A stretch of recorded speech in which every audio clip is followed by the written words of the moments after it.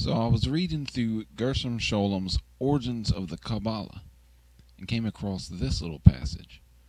The mystical treasure held by Islam was originally destined to be the glory and the special possession of Israel, but it was lost.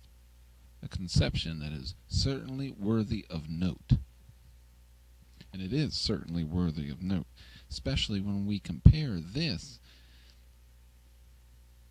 with other historical analogies, such as, first of all, the idea of uh, Islam and Judaism being uh, Ishmael and Isaac, two brothers, one who uh, uh went on to form what's known as uh, uh, Judaism, and then the point being is that um,